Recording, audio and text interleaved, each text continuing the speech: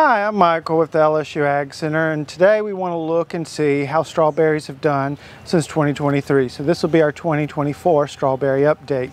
This summer we had a really hard drought and intense heat temperatures so it was a good time to see how plants could do perform under those stressors.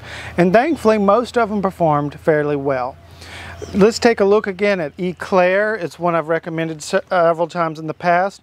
One thing to keep in mind, this is a little bit later in the season we're filming, so they don't necessarily look as prime as they did a few weeks ago.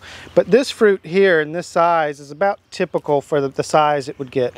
Of the larger strawberries I've experimented with, this is probably the one that has the best flavor for the size, although there are some that taste a little bit better than it long term. But this one has a good combination of a good flavor and a good size, very good heat tolerance and vigor, and it makes crops in several waves that I think are lovely to have for home fruit production. So even though I was talking about how nice this plant looks, when you have strawberries, especially perennial strawberries, it's not unusual for some to be phasing out.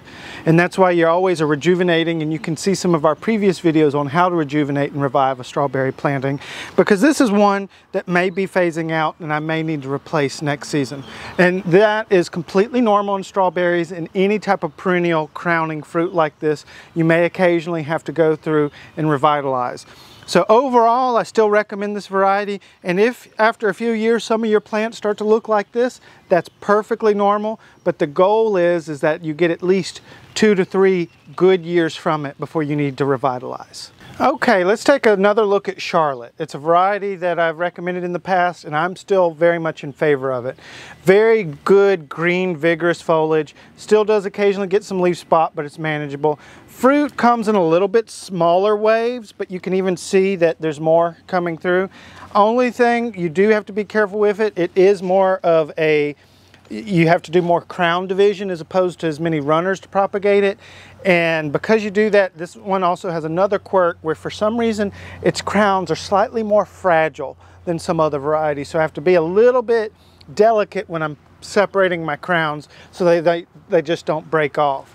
But overall, as far as flavor goes, probably one of my favorites out here and I've multiplied it to three towers because of that.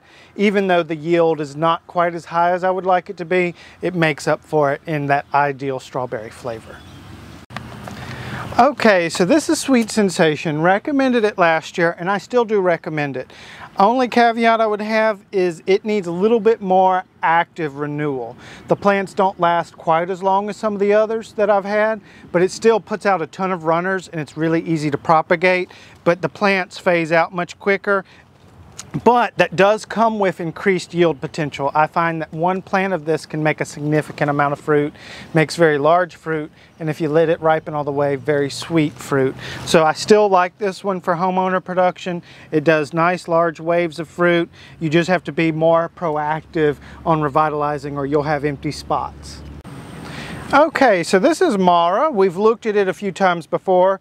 This season it hasn't been the most productive for me, but it still has great flavor potential. It just has struggled with that heat stressors we had last summer and it's carried some of those stressors. But late in the season, it's putting out plenty of fruit and it should perform better for me later. And Mara does tend to do a little bit more on the later side as well. So still a variety I recommend very heat resistant. It was just that last season was very stressful for it and good flavor. You do need to go through and separate the crowns because they do get very thick, uh, but still a great one for homeowner production.